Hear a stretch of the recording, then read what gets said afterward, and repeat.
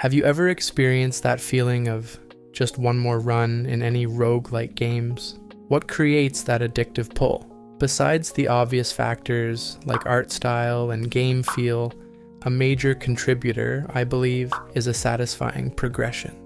Let's see how I made a satisfying progression for my upcoming game, Rogue Resonance, which, if you don't know, is a top-down action roguelike game. I would describe it as somewhat of a blend between Hades and Binding of the Isaac. It's on Steam, go wishlist it now.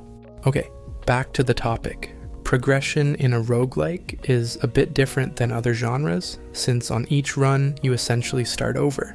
So, it would be better if we think of progression in terms of progression in a run versus overall game progression. First, let's see the factors that affect the progression in a run.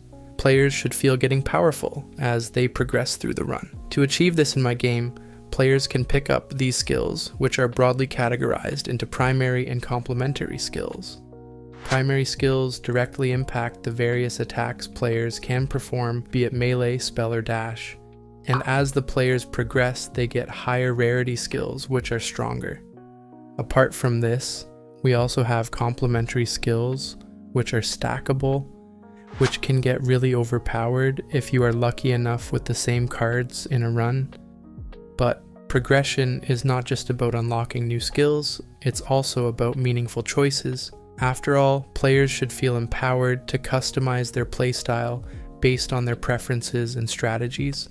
That's why I am giving this option to choose from three different skills on every reward pickup.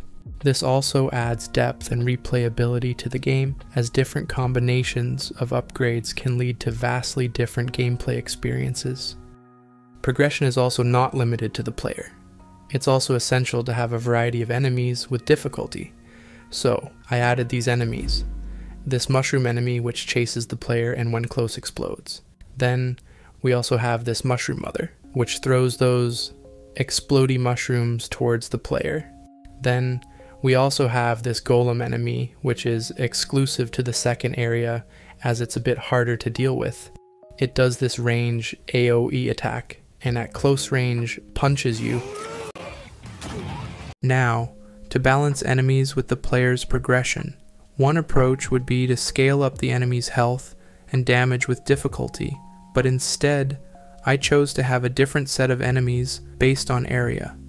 This can lead to scenarios where an enemy which took initially 4 hits can now be pacified in a single hit, which can really highlight the player's growth.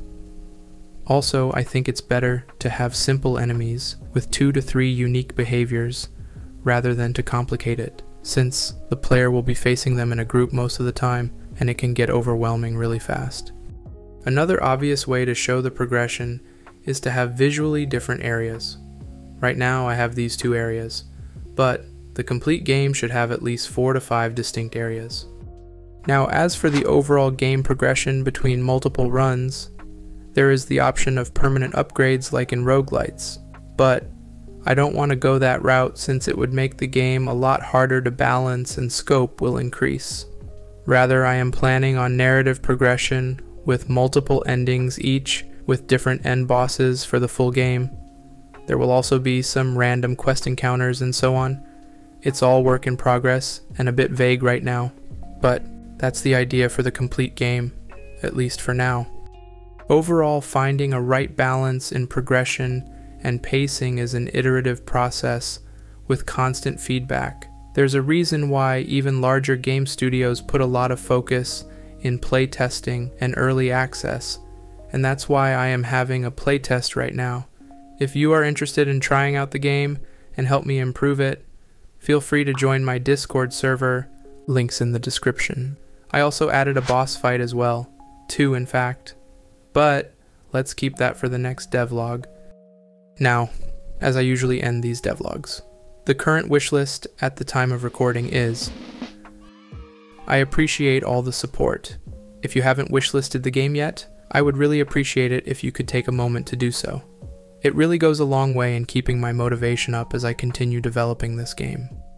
Anyway, that's it for this video. Leave a like if you enjoyed the video, and let me know your thoughts in the comment below. Thanks for watching.